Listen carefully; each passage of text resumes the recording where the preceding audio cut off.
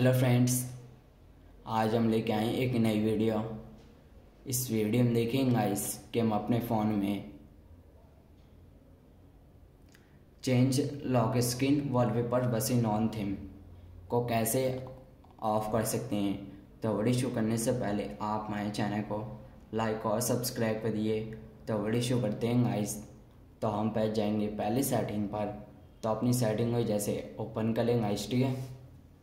तो आप गाइस यहाँ देख सकते जैसे यहाँ पर हमारे कितने सारे ऐप्स दे रखे हैं, ठीक है इस तो आप इनमें से अपने एक एक ऐप को इससे कर लेते हैं ओपन कर लेते हैं, ठीक है इस, जैसे यहाँ दे रखे हमारे ऐप्स ठीक है, यहाँ जैसे दे रखे हमारी सेटिंग्स ठीक है इसे ओपन कर लेते हैं। तो आप गाइस यहाँ देख सकते हैं जैसे सेटिंग्स हैं, ठीक है इस, ये हमारी हो चुके ओपन ठीक है जैसे मैं नीचे आएँगे, जैसे यहाँ दे रखे हैं, जैसे हमारे यहाँ पर, जैसे यहाँ लॉक स्क्रीन वर्सेस वॉलपेपर ठीक है जैसे ओपन कर लेते हैं। तो आप गाइस यहाँ देख सकते हैं, जैसे लॉक स्क्रीन वर्सेस वॉलपेपर है।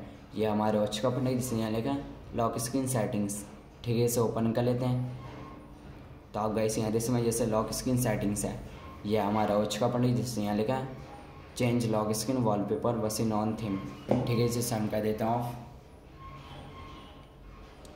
तो आप गाइस यहाँ जैसे मैं जैसे change lock screen wallpaper based on theme है।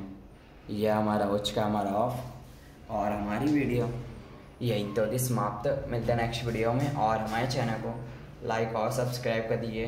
Thank you